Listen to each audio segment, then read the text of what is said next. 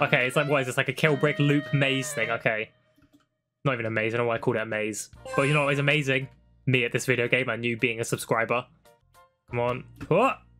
Okay, that actually might be quite hard, actually. Unless we can, like, mm, don't even need to jump. Hang on. No, we definitely need to jump. Okay, I guess that worked. I don't know how that was different to what I did before, but...